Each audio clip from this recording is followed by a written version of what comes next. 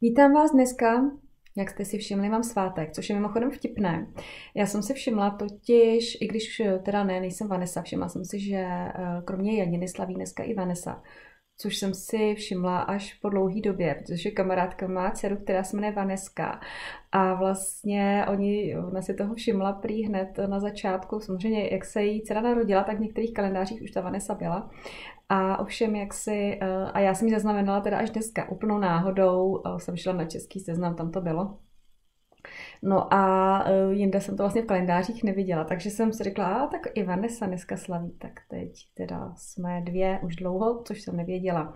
Tak slavím svátek a nejsem Vanessa, to je otázka. Tak, což je rychlovka, ale proč to říkám? Já jsem si všimla, že je docela vtipné, že na úterý mi vždycky vyjdou poslední dobou takové jaksi um, zajímavé um, jako dny, jo. Narozeniny jsem taky měla vlastně v lednu v úterý, že jo, když jsem streamovala ten Eh, čínský nový rok eh, Tigra taky začal vlastně eh, v podstatě v úterý, to bylo, že únoru, na začátku února, takže takový, jako ty úterky bývají docela takový zajímavý, výživný, oslavný.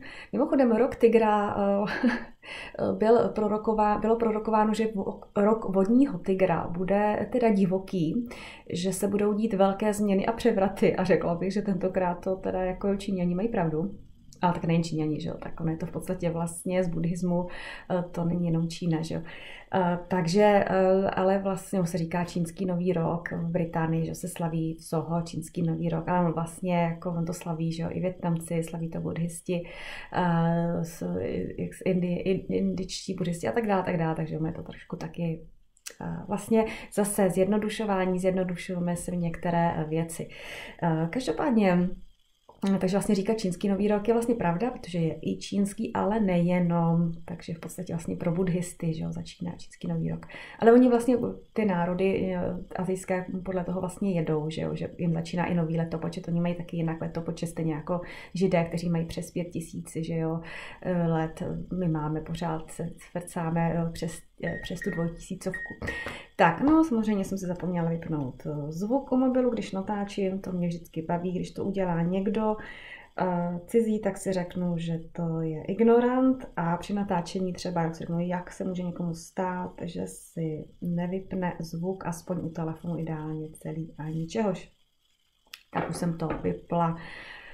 Tak, no takže to je takový lehčí úvod, jsem si říkala a taky si teda říkám, když už jsme u toho ještě vodního tygra, když se dostaneme k vážnějším tématům, takhle, ono to docela vážný je, protože ten rok tygra teda byl jako eh, prorokovaný jako divočina, což jako celkově tygři jsou, že jo, tygříci, takže i když prý, když se říká, že když eh, tygr nežere, když je najedený, takže doufujeme, že se brzy vodní tygr takzvaně nažere a nechá nás trošku, aspoň třeba ke konci roku vydechnout protože je docela bych řekla divočina. Tygr je ale prý velmi spravedlivý, tudíž nakonec by věci, které se tento rok dějí a jsou uh, jako divoký, tak by nakonec by skutečně měly být spravedlivé a měly by dojít nějaké spravedlnosti, anebo věci, které byly dříve nespravedlivé, tak by se měly vlastně během tohle roku nějakým způsobem jako trošku dospravedlnit. Takhle mám dneska hodně zvláštní výběr slov. Ale vy víte, jak to myslím, jo? Takže spravedlnost by měla být uh, přivedena na světlo jaksi a řekla bych na světlo boží, což jako v těch, tom buddhistickém kalendáři je trošku jako zvláštní říct. Uh, takže ovšem jakoby ta spravedlnost pro někoho může být dobrá, pro někoho špatná, že jo? Záleží na tom, na jaké straně barikády, jak si jste. A Každopádně, ať už je to tak či tak, na jednom se zcela jistě shodneme a to, že rok teda je teda divočina, to si myslím, že nikdo neřekne ne.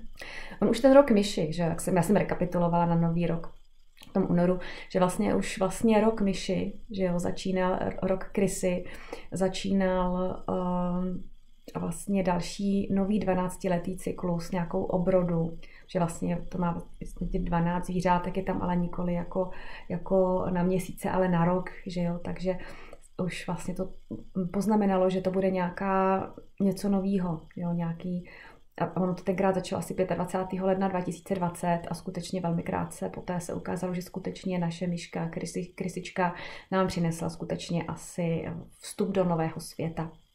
Otázkou je, jestli to zůstane jenom u 12 letého cyklu, nebo jestli se to uh, přenoří do nějakého nového, úplně jiného cyklu. Tak každopádně to byl takový lehčí úvod. Eh, jak říkám, snaha o lehčí úvod, ale vzhledem k tomu, že žijeme v takové době, v jaké žijeme, tak ta eh, lehkost tam trošku jako dělá problémy. No nic, takže pak mám ještě takovou jednu lehčí věc, to asi pak skončím, jenom vám řeknu o princi Williamovi, že má jubilejní mm, minci, že si můžete koupit to vám ještě řeknu, pokud spíš sbíráte mince, anebo možná chcete v této době investovat. Nevím, jestli se vlastně bude prodávat v Česku, v Británii určitě v mincovně. Už teďko ji vydala britská mincovna. A o tom si ještě kratince řekneme, řekněme na konci streamu, spíš jako něco hezkého, abych skončila něčím pěkným a pozitivním. tak, protože hned přejdeme ke složitějším tématům. No, Uh, tak, dneska jsem si zase říkala, že budu taková stručnější, učím se to, nicméně úvod, hm, pět minut, za chvíli šest minut a víceméně jako o ničem se vykecávám o vodní tygrovi, dobrý. Tak, eh, minule jsem tak nějak, jako obvykle, jsem se lehce rýpla do pětikolky, neboť, jak vy již víte, vyznávám heslo škoda každého křivého slova o pětikolce, které padne vedle, a nebo je nevyřčeno, ale čeho je moc, toho je příliš a trochu eh, se pokusím dát pětikolce klídek. Jediný teda, do čeho si musím rejpnout a to mě opravdu jako trápí, protože to je jediná věc, jediná věc, o který jsem doufala u pětikolky, že by mohla, když byla zvolená, tak jsem si říkala, utěšovala jsem se, a říkala jsem si, no, všechno zlí je k něčemu dobrý, tak zase přece jenom by mohly být takový volnější, že jo, nebudou pořád chtít nějaký pandemický zákon, nouzový stav, že jo, prostě pustí ty lidi do hospod bez nějakých prostě šílených eh, testů a certifikátů na mobilech a nebudou dělit lidi, jestli jsou očkovaný, neočkovaný, jestli se usmívají, neusmívají, jestli mají černý vlasy, eh, jestli jsou eh, árijský typy, neárijský typy a tak dále. No a nebo prostě to je jedno, jako prostě dělit lidi, chci říct je jedno, jo, nebo jestli jsou očkovaní nebo ne, že jo, teď tady jako všude vlastně po Evropě jsou najednou všude neočkovaní uh, Ukrajinci, nejenom neočkovaní na covid, to by ještě možná člověk pochopil, ale oni nejsou očkovaní snad vůbec na nic, to země je snad 100 let za opicem a tam se snad vůbec neočkuje. Takže samozřejmě, no nechci teď narážet na ty opiči, než, než to věc, to vypadá, že je od někud ale prostě jako uh, je to zvláštní, no, jako uh, budou muset splnit hodně re- regulí Evropské unie, aby vůbec jako z, uh, Unie jako přijala, protože vypadá to, že mají hodně velké rezervy. Jo. I když jak to už vypadá, tak vzhledem k tomu, že Francouzi se tento týden vyjádřili zcela jasně, že ani omylem, že až tak za 10-15 let v Unii by je možná tak viděli Ukrajince. A uh, um, Esterreich, uh, Rakušani už to řekli, tak eh, si myslím, že jasný, že Ukrajina asi do Unie hned tak nestoupí. Eh, je docela vtipný, kdo si dávali na čas, než to oficiálně řekli, asi už jim ruply nervy což bylo docela úsměvný. Já jsem se docela těšila, až u Brit, eh, jako kdyby je přijali opravdu do Unie, tak by to bylo docela legrace z Británie se dívat, co se děje v Unii, potom, co by vstoupila do Unie Ukrajina. No nicméně, prostě hol, co se dá dělat Unie, budeme muset ještě chvíli počkat, než někdo jiný rozloží Unii, protože ta Ukrajina by to zvládla úplně ansvaj, ale ono to nevadí, to nevadí, to nevadí. Jsou jiné cesty. a ono je nejlepší vždycky nechat ten subjekt, aby se rozložil sám přirozenou cestou a já myslím, že Unie tohle to zvládne úplně skvěle. Tak um, co chci ale říct teda, abych se zase vrátila trošičku k tématu a zase k té pěti kulce. No a uh, právě to jsem od ní, jako jsem se těšila, že bude jaksi právě nechtít pod občany, po občanech toto. No a jen co přišli a všimla jsem si, že to právě naštvalo i jejich, hodně jejich voličů, že právě, nebo zklamalo, že vlastně nejen, že, eh, nejen, že v tom pokračovali a nezastavili to, ale ještě si začali prostě přivymýšlet eh, pandemický zákon, který odůvodnili, aby nemusel být nouzový stav. Mm-hmm. Jasně, takže nouzový stav nemáme, nebudeme mít jako... Takže, teď to řeknu, řeknu, řekla jsem nemáme. Jak je to v Británii? Hmm, tak v Británii to je následujícím způsobem. Prostě, myslím, že 5. nebo 26. března prostě doběhl nouzový stav, ono to bylo jako pandemic law, a prostě už se neobnovoval, protože Britové jsou demokratická země a se všema problémama, který tahle ta země Commonwealthu má, bývalýma koloniema a tak dále, se všema škraloupama, tak je to záhada, ale přece jenom je v ní, panuje v ní demokracie, Ano, je to tak. Je to divné, ale je to tak. A to znamená, že politici umí vládnout uh, i normálně, nepotřebují k tomu totalitní zákony, když to není nezbytně nutné. A já si právě u toho chci trošičku zastavit, eh, vložit do minulosti, kdy skutečně Britové, protože, protože já vzpomínám, když uh, kromě pandemického zákona, tedy řekněme takového nouzového stavu v britském pojetí, které, které ten zákon se opravdu dá, dával, uh, uh, přijímal, byl to velmi kontroverzní opět a opravdu na dobu nezbytně, nezbytně nutnou a víceméně hned krátce, nebo relativně krátce po začátku pandemie, aby se mohly vlastně některé věci dělat. A to v Británii zdaleka se nedělili se lidi, žádný árijský rozdělování, nebo jako ty seš očkovaný, ty seš testovaný, jako vstupy do, do hospod neřešilo se. Na akce eh, v podstatě vlastně eh, ten covid pas byl skutečně jenom, jenom měsíc přes Vánoce a pak zase si to lidi vydemonstrovali, aby nebyl. A lidi velmi si na to dávali pozor, aby, aby to nebylo nezbytně nutné a to ještě bylo tak, že covid pas byl takový, že jste mohli chodit s testama jenom, a to ještě ty testy antigeny, nevím, jestli jste je někdo zažil, jak se dělají v Británii, nebo dělali v Británii, v podstatě vlastně jste mohli být negativní jako kdykoliv, abych tak řekla, jo. Uh, protože Británii to byla fakt jako brnkačka a to skutečně v Británii bylo opravdu hodně lidí nemocných. Jo. Takže a, a i, i v Británii bylo opravdu daleko víc svobody během pandemie. Jo, žádný noční zákaz vychází jenom v té první fázi šokový a pak už vlastně nikdy, jo, v Česku vlastně hned. Jo. Takže pak, jo, takže vlastně pak si člověk řekl, fajn, tak aspoň tohle to, že jo, tak ODS tam je, ta by mohla být taková svobodnější. No a šup, že jo, prostě nic, ani ta to nedala, tak ono všichni ty, že jo, stanaři, piráti, prostě topaři a, a KDU, tak ty byly posedlí vakcinací a všem možným, tak to bylo jako jasný, že se to jako nedá. Taky mimochodem vlastně v podstatě teď je vidět, že ta ODS jako vypadá, že má nejvíc preferenci, že se jí tam jako vrací nejvíc lidí, jo. Až na to, že teda já s ním nadšená vůbec nejsem, ODS by možná mohla zafungovat, až se konečně zbaví všech těchto těch uh, přišroubovalců, a uh, udělá si taky trošku čistku ve svých řadách jako, uh, a nechá tam takový jako normálnější, nebo nahoře nechá nějaký jako víc euroskeptičtější členy a víceméně se začne tam víc mluvit o té party, tak pak možná o TSK někdy za hodně dlouhou budoucnu, až se zbavíš kralupu z toho, co dělá teď vůbec v té pěti koalici, v téhle vládě, tak možná začne být zase snad i volitelná strana pro normálního středopravicového konzervativního voliče euroskeptického, anebo prostě jednoduše eurorealistického, nikoli euro, euro, euro uh, res, zadečkovského což dneska vlastně pod vedením Petra Fialy je, že jo, což jako, to opravdu není pragmatik, to je prostě baťuškář, který si jezdí na výlet a dává medaile za to, že s ním jedete na výlet, no tak jako nemůžeme brát vážně, takový lidi, to je jasný. No takže um, takže vlastně eh, to, to jsem si říkala, že aspoň by něco jako závan té svobodomyslnosti, kterou kdysi ODS jako, že jo, navrhovala.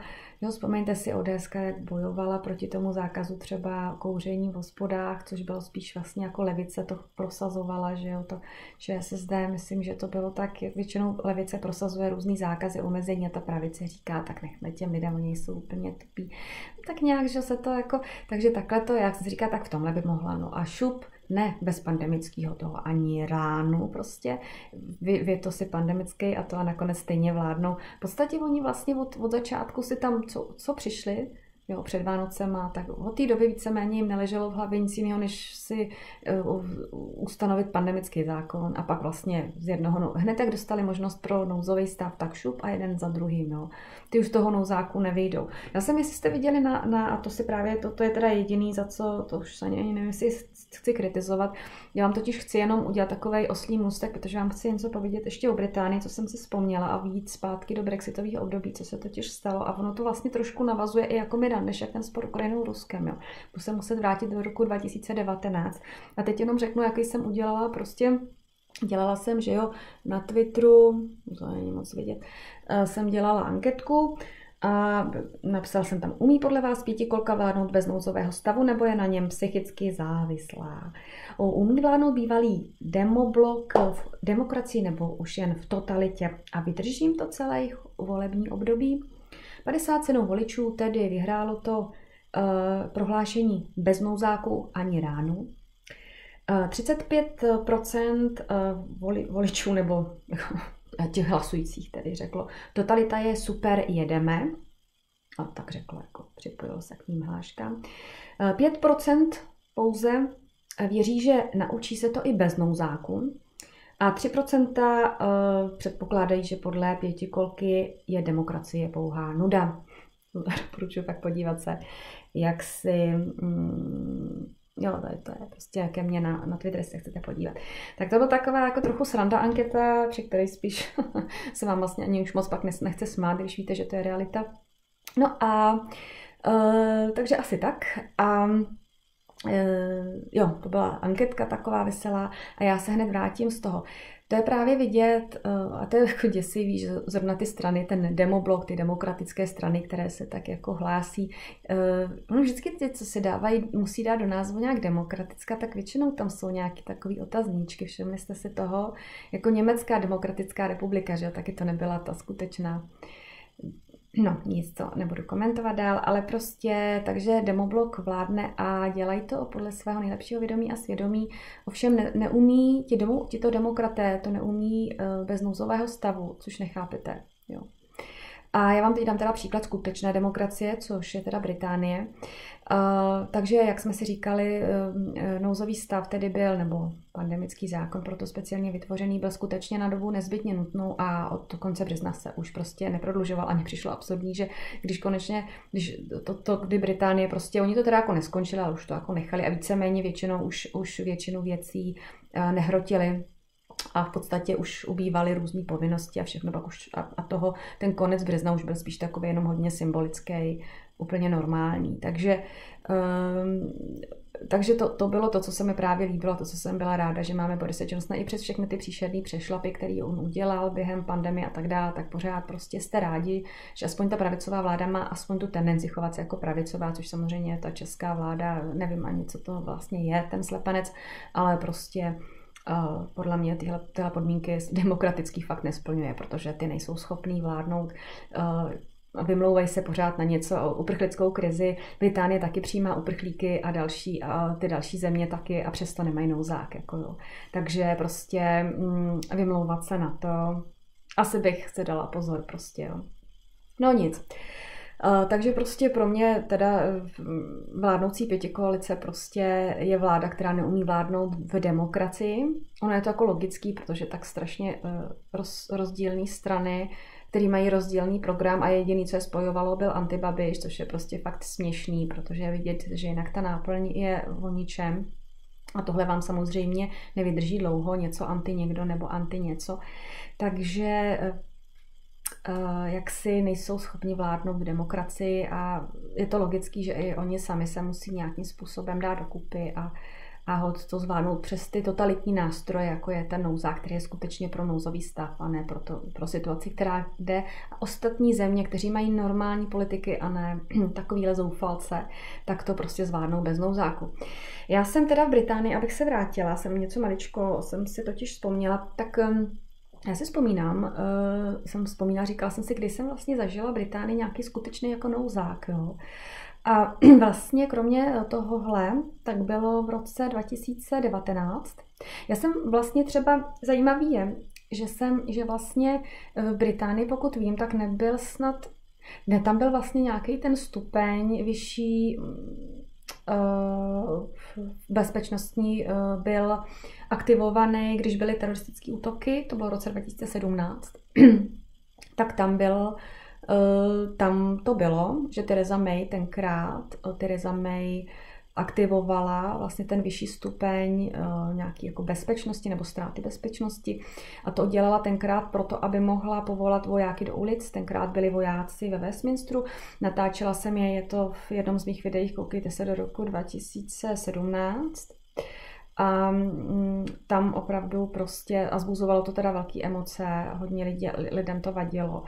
A hlavně ty vojáci byli většinou ve Westminsteru a v centru Londýna, tak je pravdou, že tam to bylo taky jakoby nejvíc pravděpodobný nějaký ty útoky. A to byl fakt jeden útok jako za druhým. Pak ještě byl ten Grand Fear, ten prostě věžák, tam vyhořel tenkrát v červnu, že jo, 2017. Byla fakt jedna rána za druhou, tu Británii, to bylo těžký.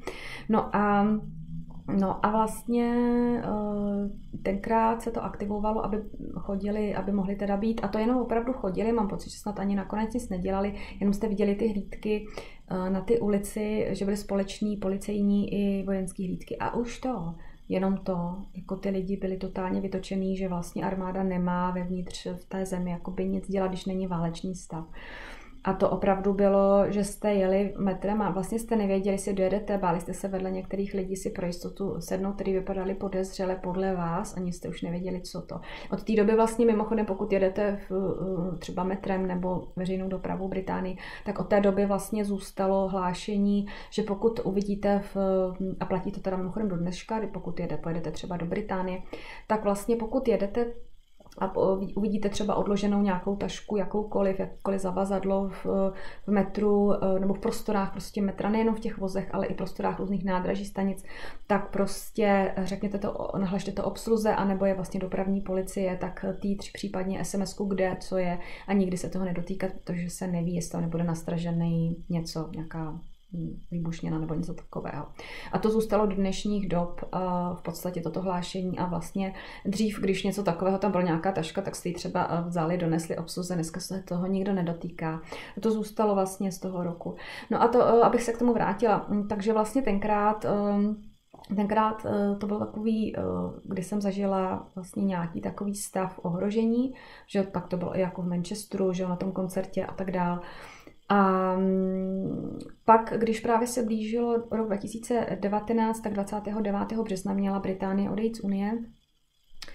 A nakonec se tak nestalo, ale mm, já nevím, a nikdy jsem vlastně nezjistila, jestli to bylo schválně, nebo jestli s tím mělo co dočinění, nebo ne. A bylo to zvláštní taková souhra okolností, kdy vlastně eh, jednak se řešilo, takhle, jednak se nejdřív řešilo, že bude eh, po Brexitu během jako kolem toho 20. Prostě zhruba v březnu a plus nějaký ten měsíc, dva poté, eh, zavedeno martial law, tedy stané právo. Eh, možná, že, myslím, že Britové nemají přímo právě ten, proto oni dávali i ten pandemický zákon, protože oni nemají klasický, myslím si, že nemají právě ten nouzový stav vysloveně jako Česko, protože každý má trošku jiný ty zákony. Že? A oni tenkrát vlastně přemýšleli, že aktivují martial právě, že by znova vzali ty vojáky do ulic, protože se předpokládali nepokoje. Jo? Že třeba jednak, že budou naštvaní prostě lidi, kteří nechtěli Brexit, že se třeba porvou, budou, budou nějaký šarvátky z brexitář, mezi brexitářem a remainistama, remain oslova zůstat, remain, remainisti se vžil název Brexit, brexitáři nebo leavers, jako od, eh, odcházeči a tak dále. A to se bralo, že, že jednak tahle varianta a druhá je, že budou problémy s dodá, dodávkama jídla, nebudou v obchodech třeba jídla a budou potyčky o jídlo. Takže tenkrát se vlastně, eh, podívejte se, opět tam zase mám v roce 2017, do těch videích, měla bych je tam mít, Vysvětlovala jsem, proč vlastně mělo být zavedeno martial law. Nakonec vlastně nebylo. A vím, že lidi to Theresa May hodně vyčítali. Ono nakonec nebyl ten Brexit, takže ani tohle nebylo zavedeno. Ale a co chci říct, a Theresa May nakonec pak vlastně ani už nedělala Brexit, protože tak ona byla vlastně trojský kůň, že jo, ona byla vysoce pro unijní, takže to bylo opravdu jako udělat kozla zahradníkem, nechávat jí Ona chtěla udělat dohodu, která by vlastně sice odvedla Brity jakože oficiálně z Unie, to znamená, ale vlastně, čili vlastně už by nebyli legální člen, ale zároveň by, jim tam, by tam nechala v podstatě skoro všechny dohody. To znamená, že by platili Britové jak mourovatý, měli by všechny ty nevýhody, museli by všechny dodržovat a zároveň by do toho nemohli kecat. Jo. To je úplně absolutně nejpříšernější varianta, která snad jenom mohla být. Jo. Takže samozřejmě všichni byli proti, a to dokonce i remainisti, kteří zase vůbec nechtěli odejít, takže jako proto tenkrát, ale to, to jsem tam taky kdysi vysvětlovala. Takže uh, takže tenkrát, že Teresa May byla vlastně extrémně neoblíbená úplně všema. Remainistama, Brity, brexitářima všema. A i vlastně za tyhle ty uh, přípravy Jo, kdy předpokládala, že ta země se pomalu jako složí, rozloží. Pak se ukázalo po Brexitu, že se vlastně nic nestalo. Po Brexitu vlastně naopak byl v podstatě klid. Eh, kdyby nebyla pandemie, tak je otázkou, co by se stalo, ale myslím si, že by to bylo, jako, že by to mělo možná i dokonce relativně hladký průběh, až na pár nějakých jako zádrhelů by ale teď budou mít, teď mají všichni zádrhely, takže tak. No a abych se teda ještě dostala, tak tam byla právě jedna taková zvláštnost ještě, o které chci hlavně mluvit. A to bylo, že shodou okolností eh, vlastně kolem toho Brexitu zrovna měli mít eh, vojenské cvičení, přátelské vojenské cvičení státy NATO. Jo? Mimo, především mimo evropské a myslím, že tam byly nějaké i evropské. To se jsem to říkala tenkrát těch videí, jsem zrovna, jsem je teď na to koukala, jsem to chtěla připomenout a Uh, tam to bylo vlastně, že prostě měli mít školení, uh, měli mít prostě takový ten klasický, že vojáci na to vždycky mají nějaký ty, ty tréninky, že se sejdou z některých zemí, z několika zemí, různý prostě pozemní síly, letecký, na moři, tady mám pocit, byly nějaký mořský síly, nebo uh, mariňáci a tak snad. A uh, měli prostě mít uh, měli mít to, to cvičení. Jo. A mě to tenkrát, na mě to tenkrát působilo, jako by to mělo mít dva, dva takový jako minimálně vedlejší efekty. Jo. Jako není to nic zvláštního, vždycky to tak bývá. Ale jeden efekt takový, jako kdyby náhodou se to zvrtlo a uh, Britové by potřebovali pomoc, aby by tam větší rozbroje, než by měly být a bylo by zavedený to mešlou, tak by vlastně tyto přátelé mohli pomoct. Což mě děsilo, protože to trochu působilo jako, jako kámoši z Varšavské smlouvy v 68. Jo? To se mi úplně nelíbilo. A na druhou stranu, Eh, ještě tam byl takový to, že vlastně Britové několikrát, i, i potom, i předtím vlastně, to bylo 2018, jo, to byla kauza Skripal, tak v obou těch kauzách si všimněte, jste si určitě mohli všimnout, uh, je, tady, je to takový, že Britové neustále vždycky uh, dávali najevo, že ano, my odcházíme z Unie, ale neodcházíme z NATO. A vždycky mi přišlo, že to pro ně bylo hrozně důležité tohle sdělení jako říct, jo. A taky proto, když se podíváte, tak vlastně i proto vlastně Bojo který má Ukrajina víceméně ukradená, kromě jako těch levných pracovních sil, který teď můžou v Británii můžeme využít, tak vlastně eh, a nemusí se teda vozit Rumuni, což je hrozný říct, ale je to prostě pravda, že jo, na ty, na ty sklízecí práce teď jako v létě to bude potřeba. A doslova, každá dobrá úroda ještě bude lepší než, než, než dřív, na to bude teď jako ještě větší důraz všude, všude. A eh, v podstatě si vlastně jako je, takže jemu to bylo jedno, ale šlo o to v podstatě, i kdyby Mickey Mouse bojoval proti Rusku, tak jako jo, Británie vždycky bude na straně NATO, ať už to bude dávat logiku nebo ne, protože bude na straně Ameriky. I když se třeba hádají ty země a, a tak, tak, tak vždycky nějakým způsobem oni ví, co dělají. Jsou to koloniální země, Británie je koloniální země, Amerika je taky kolonie, co prostě ze zemí ukradli to, v podstatě tu zemi ukradli indiánům, že? co si budeme namlouvat. Takže jako oni, to, to nejsou přátelský země, oni ví, že se drží, že ta moc je důležitá, že jo. A mít nepřítele je dobrý kvůli svým jako lidem, takže ono to Rusko je jako pozitivní. Ono i Rusku to podle mě přináší, že jo, nějaký jako pozitiva, že jo, že mají tenhle ten zlej západ, i když jako když to potřebujou, tak jsou zase jako kámoši, takže Oni se tak nějak, jako oni mají, eh, mě to vždycky působí, že to, to NATO a Rusko jsou takový Jerry a Tom, akorát vždycky chvíli hraje eh, Jerryho jedna strana a druhá strana a a, a plus si k tomu vždycky různě jak potřebujou, eh, berou rukojmí, eh, třeba Blízký východ a tak dál, a, a nebo teď třeba Ukrajinu, nebo rukojmí. Já jsem nechtěla říct, že Ukrajina je rukojmí, ale my všichni jsme do toho konfliktu nějak zatažený. Já nevím, jestli mi rozumíte, jo. Prostě mm, ne rukojmí, ale jako spolupracovníky prostě vždycky do toho někoho zatáhnou, jo. A pak je vždycky otázkou, jestli to se to někomu uh, hodí nebo ne. Češi jsou standardně tak chytrý, že, se nám, že i kdyby se nám něco hodilo, tak my všechno děláme jako ideově, takže pro nás to, to jako Češi tomuhle, ne, já bych řekla, že tomu, co říkám, porozumí teď asi jenom pár Čechů a ten zbytek mě asi bude pokládat jako za magora, protože nebudete rozumět, jakoby, eh, co říkám, nebo asi logicky jo, ale ale mm, ne, ne, Češi tomu nemůžou porozumět, protože Češi nejsou koloniální národ, jo. ten, který někoho kolo, jako kolonizoval. Takže jakoby, jo, já tyhle, ty, eh, tohle myšlení vidím opravdu spíš u Britů, Američanů a tak si, nemůžu si pomoct. Jo, je to, je to jiný, je to, zmoc, oni se dívají na ty země, i na nás, na všechny, z mocenského hlediska, jako taky můžu z toho něco vytřískat, můžu z toho něco mít, když to my Češi vlastně se díváme jako, jako taky asi možná, ale ne takhle. Prostě mm, my jsme spíš takový, jako, že spíš jako říkáme, a můžeme být my něčím prospěšný tím druhým a tím si je přitáhnout?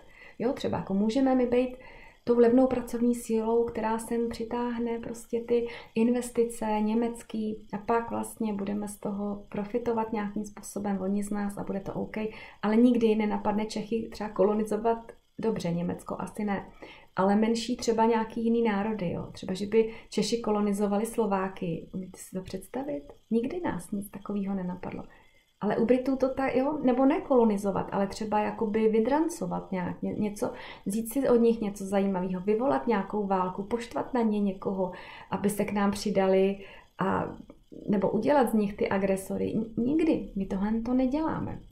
Ale že bychom mohli říct s jistotou a čistýma ručičkama, že toto nikdy nedělali američani, angličani, nebo třeba francouzi, španělé, no tak to nemůžeme, že jo? Rozumíte mi? Ta, takovýmhle způsobem, prostě to je odlišný způsob myšlení, uh, který i když dneska není, ne, nemůžete o tom hovořit přímo, tak podvědomě funguje. Jo, jako prostě my vždycky jdeme do, eh, do všech misí naši vojáci šli, protože si fakt mysleli, že tam jdou pomáhat eh, měnit ten režim, pomáhat těm lidem do Afghánistánu, do Iráku. Tak. A vy myslíte, že tam šli s tímhle skutečný důvod, že to byl Američanů a třeba Britů? Vy si nemyslíte, že tam šli třeba kvůli ropě nebo kvůli udržení určitých pozic na Dálném východě, kde se chtějí udržet svý kolonie třeba proti Rusku? Nemyslíte? Ale že bych, že bych slyšela třeba od Čechů, že by vůbec nějakého Čecha napadlo, že tam jako jdeme kvůli koloniím nebo ropě a tak. Jako, to jsem neslyšela. Rozumíte mi, je to jiný způsob myšlení. Tak a proto jenom chci říct, že i ta válka proti Ukrajině, tak jako rozhodně to není jako nikdy bych nepodezírala Boudžova, že opravdu chce pomoct Ukrajině. Ne, ne, je to udržení si pozic. A proto jsem teď vlastně zmínila i to, když Británie odcházela z Unie, tak vždycky tam byl velký důraz, jakákoliv příležitost, eh, byl to i takový test, jo, jestli opravdu, když tady bude ta, eh, eh, nebo test prostě, bylo to zajímavé vidět, že v té kauze Skripalovi drží, jo, že, že opravdu všechny ty země Unie, že to bylo v roce 2018 a to bylo zrovna v té době, kdy se opravdu že vedly ty spory o Brexit a Unie plivala přes ten kanál La Manche na Brity a Briti zase jako na ně, Britové. Tak. A, ale vlastně tohle byl moment sjednocení. Jo, a teďko vlastně zase proti Rusku je to moment sjednocení a zase kolem toho Brexitu, tak zase to na to prostě, i když Britové odcházeli, já nevím, jestli to iniciovali Britové, ale asi ano, protože oni byli ti, kteří zvali vlastně, um, který byli hostitelský stát. On je to jako normální, to se jako ty, ty opravdu ty, ty cvičení těch vojáků na to, ty zpřátelený, ty se dělají pravidelně. Um, tak vidíte na stránkách na ta informace o tom a tak dále. Takže já tím jenom opravdu chci říct, že eh, ano, je to něco jako běžného, ale vždycky zvláštní některý timing a tak dále. Jo. Proto a vždycky to má nějaký poselství a ne, že ne. A proto jsem chtěla jenom vzpomenout, že Britové vlastně vždycky dávají najevo, eh, na které straně jsou a že i když nejsou s tou um, prostě nejsou v Unii, tak vždycky jsou v NATO. A já si myslím, že dokud bude NATO existovat, tak Britové v něm prostě budou. Jo. Britové a Američani. Ale to je jedno vlastně, to jsem ani jenom, já jsem vlastně chtěla mluvit spíš o tom martial a trestaném právu, a o tom, jak používá Británie vlastně tohle. Takže tam opravdu jenom v momentě, kdy tam hrozily skutečně nějaké potičky a nakonec vlastně při odchodu, ale to už byl vlastně Bojo, to by byl, byl Boris Johnson, to byl skutečný konzervativec, ne Theresa May, která ani nevím, podle mě ona je spíš, ona je podle mě spíš liberální demokratka, než klasická jako konzervativní politička, jo, teda mimochodem a e, z mýho úhlu pohledu. A Boris Johnson vlastně žádný staný právo, nic se neza, nic, když prostě byl Brexit, ať už vlastně ten jakoby skutečný termín odchodu toho 31. ledna 2020, tak žádný staný právo nebylo a nic se nedělo. Tam vlastně pak bylo panické nakupování mouky, toaletních papírů a tak uh, spíš kvůli Brexitu. A to zase vlastně nebylo, to se pak udělalo teda to pandemický právo a no, pandemický zákon vlastně. A vlastně a ani, a pak bylo to druhý, že jo, pak byla ta další, kdy k 31. Uh, teď už nevím, zase 12, ne 20. Vlastně na, a do konce roku pak ještě dobíhalo takový nějaký to transitní období. A zase, jo, kolem Vánoc vlastně jediný problém, prostě, který byl tak prezident Macron, že začal prostě jako, začal dělat problémy na hranicích, aby nemohli, že jo, aby, nám, aby zastavil kamienovou dopravu a další a tak dále, a ty nástory. Ale vlastně ani tak nebylo prostě žádný staný právo nic. Takže Boris Johnson vlastně si nikdy, kromě toho pandemického zákona, což bylo vynucený a k tomu byl taky dokopaný vlastně levicí, ale budíš prostě udělal to, tak vlastně a, a nechal ho opravdu na dobu nezbytně nutnou, opak už neprodlužoval, tak vlastně Boris Johnson skutečně jako pravicový politik opravdu uh, ten nikdy nechtěl, co vím, tak, tak nikdy nechtěl. Prostě, víte co, pravicoví politici nechtěli ti prudit, ty chtějí nějaký ty daně, ty oni si vemou, že jo, e, opatření dělají jenom vždycky, když na ně jako zaťape levice, víceméně si, si chtějí v klidu, jakoby, nechci jít přímo nakrást, ale našudlit, co mají, užít si výhod, který mají a hotovo 20. Jo, a víceméně vás nechají dejchat. Jo. Když jim necháte nějaký ten bakšiš, tak vás nechají žít. Když to levičáci, jo, ty většinou prostě, nejenže ten bakšiš něco, ale ještě, ještě vás furt chtějí regulovat, co máte, co dělat a tak dál nejenže chtějí od vás ty prachy, jako ta pravice, ale ještě, ještě od vás i tu duši, jo, což, což s tím mám trošku problém, jo. Takže jako, a proto jsem jako ráda prostě za Borise Johnsona i se všema jeho chybama a tak, který bohužel teď ovšem taky zapříčinují pokles konzervativní, preferencí konzervativců, což je teda taky blbý a budou se s tom muset nějak vy, vyškrábnout. A to jste ještě jenom, co jsem chtěla říct, teda samozřejmě se řeší znova Partygate, myslím, že to bylo zase listopadová, teďko zase podzimní Partygate 2020, že jo, e, takže e, a teďko, ne, teďko hodně teďko vlastně se přišla voda na mlín liberálním demokratům, jako oni zjistili, že oni mají hodně preferencí, tak teďko oni, oni do toho teďko dupli a teďko jdou daleko víc, bych řekla, než, ale možná to je daleko víc, možná je to jenom jako můj den, on je to asi možná půl na půl, ale ale teď jedou po místo Labour Party, která je vlastně tím lídrem opozice, tak teď začali jako liberální demokrati hodně tepat do Bojoa kolem vlastně tý Partygate třeba, jo. Takže ty teď jedou, oni, oni, uh, jak jsem říká, chytli slinu moci a blížící se možný a jedou, no. Tak jako Bojo doufám, že něco udělají, protože jinak, ty jo, jim vyklidějí pole, to by bylo hrozný. Já se tady dívám, co jsem tady ještě měla. Jo, a pak tady máme ještě teda dvě věci, které jsem chtěla zmínit. Takže jenom tady, to jsem chtěla říct, že eh, liberální demokrati nespí. Nespí, nespí.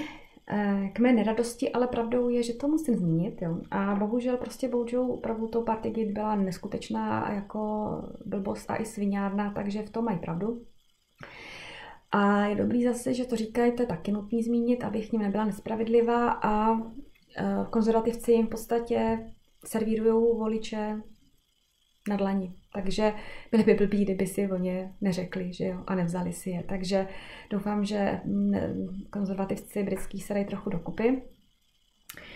Uh, nicméně, tady jsem ještě chtěla jenom říct potom takovou zajímavost, uh, že v Británii uh, je uh, teď se každý pátý člověk by chtěl uh, změnit uh, pracovní místo. To je docela zajímavé, se dělá podle průzkumu.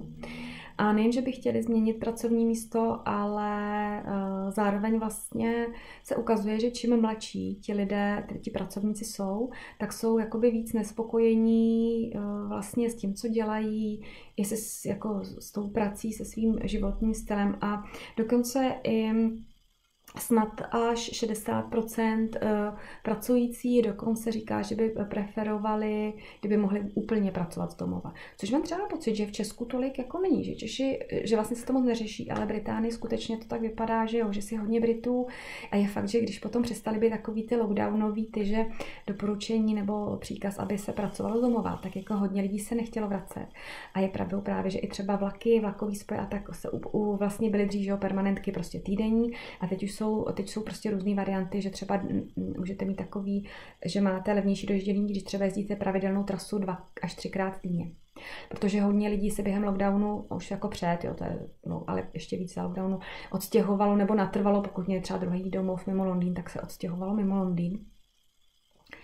A v podstatě vlastně už se rozhodli nevracet se do Londýna a dojíždějí a víceméně prostě pracují z domova a tím, že přece jenom ty byty jsou, nebo domy jsou levnější mimo Londýn, tak vlastně většinou tam mají i třeba jednu místnost jako na pracovnu a i tak to stojí stejně nebo ještě míň než v Londýně, tak vlastně tím pádem se i hodně mění životní styl v Británii, což už opravdu je trend, který je opravdu ty, ty dva roky, on se vyvíjí.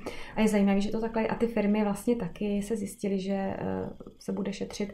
A už se i hodně, hodně kancelářských budov, to jsem už taky říkala, už, už vlastně minimálně před, před rokem ten trend se začal ukazovat, že hodně kancelářských budov uh, se začíná uh, vylidňovat a přeměňovat, tak, ty vlastníci je při, při, přeměňují na koncept bytový, čili že se z nich budou dělat byto, byty. No, a to já bych řekla, že asi jako ta hlavní věc a tím pádem vlastně jsou ty pracovníci i, i když jsou firmy teda, které nechtějí, a většinou City. To je zajímavé, že třeba City, bankéři, v City je vlastně takový jako alfa omega bankéřů britský, když to tak hodně zjednoduším, sídlí vlastně v City uh, Headquarters, uh, centrály bank a um, různých finančních společností, uh, burzovních a tak dále. Um, ti teda preferují spíš práci v City. Ty se chtějí jednak setkávat a jednak prostě si udělali nějaký uh, průzkumy a vím, že když teď byl naposled ten lockdown, zase před Vánocema, tak vím, že oni byli první, kdo se nejvíc rozčiloval, protože říkali, že oni mají, oni se, oni se potřebují hodně motivovat. A tím, jak jsou, uh, při hodně kompetitivní uh, prostředí. A oni, když jsou doma, tak oni jsou většinou takým jako poloklídku, ty lidi. Což je vlastně jako dobře, v některým pracím je to dobře, ale proto jejich ne, že oni potřebují dostat ty lidi do toho adrenalínu, aby se vzájemně motivovali, komunikovali, aby byli vlastně v tom týmu, v tom prostředí. A protože bez toho vlastně ten trh pak finanční eh, by nebyl tak kompetitivní, možná by eh, se normalizoval, říkám já, to říkám já. To, to, ten, tu doušku, že by se normalizoval, to neříkali oni.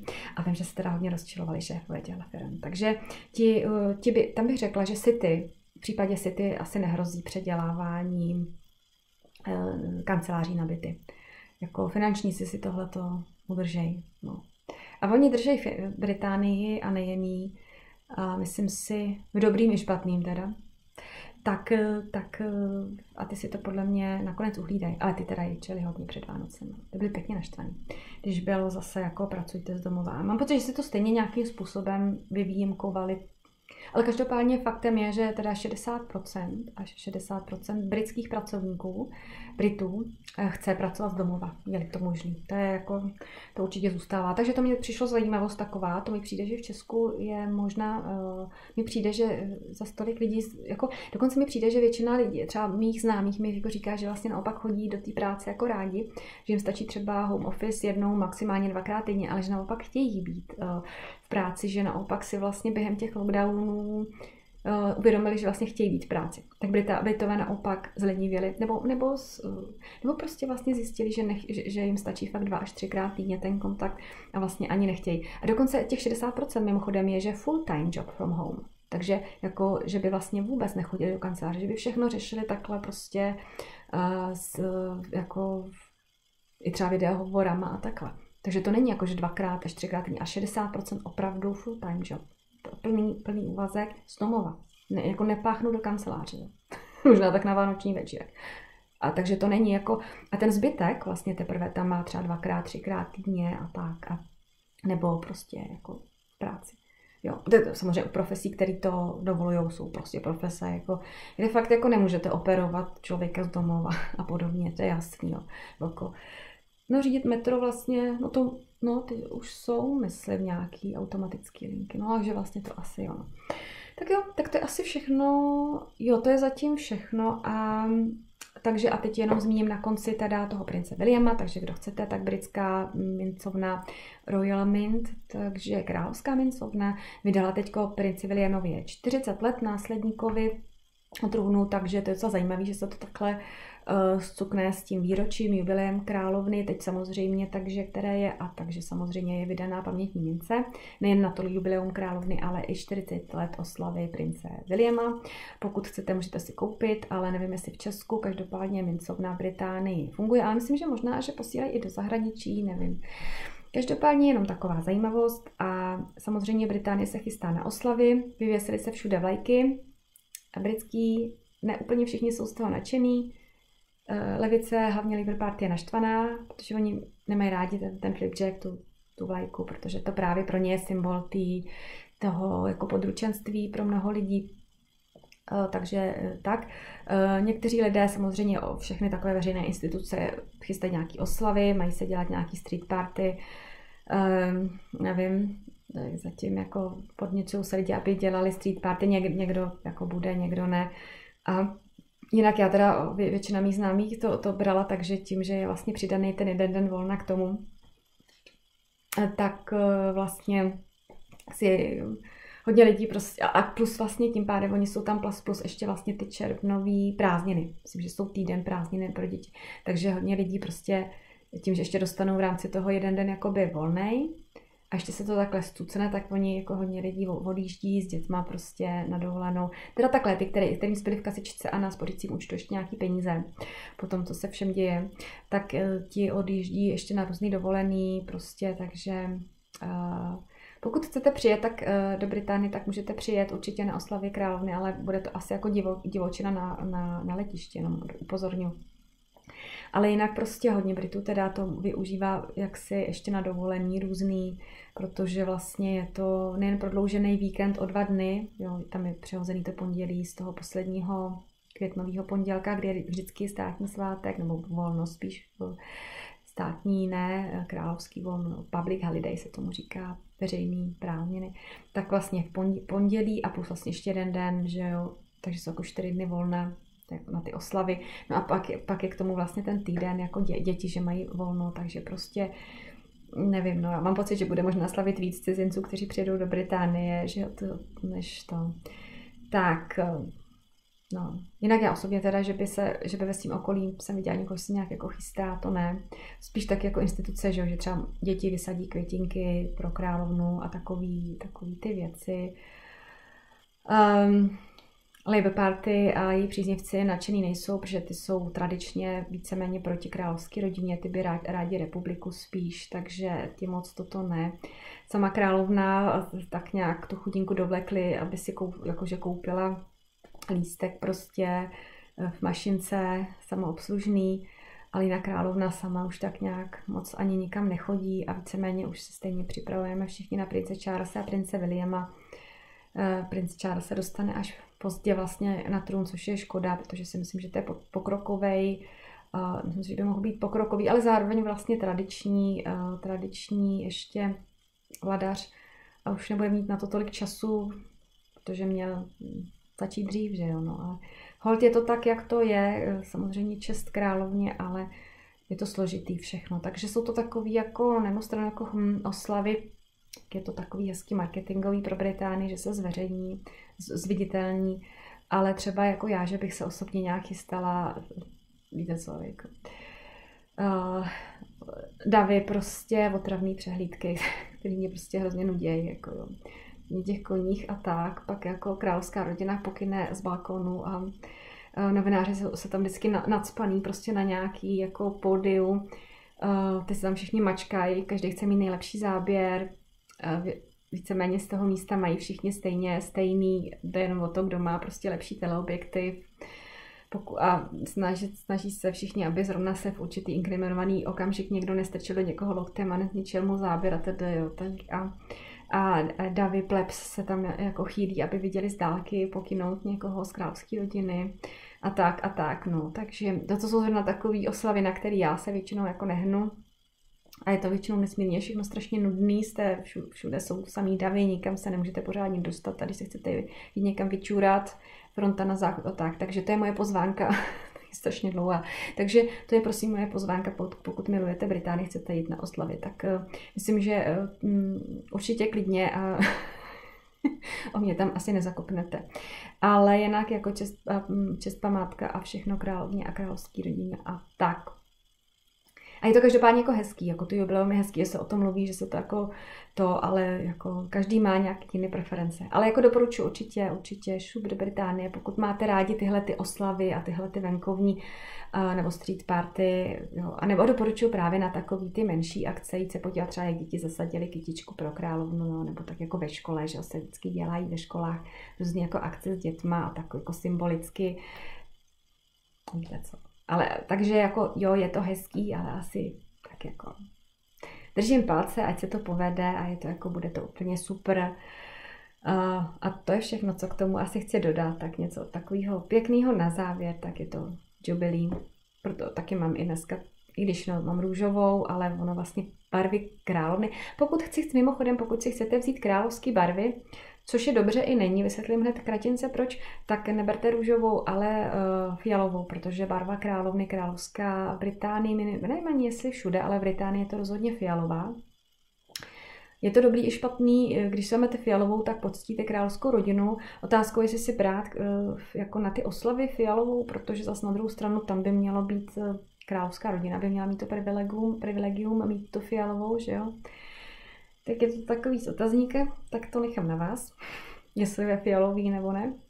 Možná nějaká šeříková by nemusela být jako špatná. A nebo se na barvy prostě vybojněte, no. tak jo, mějte se hezky, hezký den, ale růžový brýle bychom si do budoucna mohli nasadit, ať vidíme aspoň nějaké věci hezky pozitivně, ať už jsou, či nejsou. Tak jo, tak se mějte hezky, hezký den vám přeji Janina z Londýna a hm, jsem chtěla být krátká, nakonec mluvím 50 minut. Fakt jsem se dávala, že budu mluvit čtvrt hodiny. To je obscese. Mějte se hezky. Papa.